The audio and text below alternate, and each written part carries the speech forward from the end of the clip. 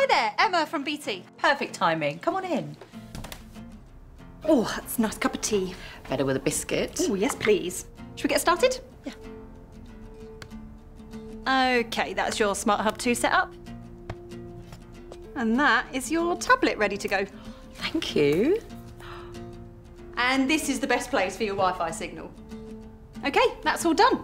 You'll find everything we talked about on here. And if you have any questions at all, get in touch. Thank you so much. I think we deserve another biscuit. Oh, don't mind if I do.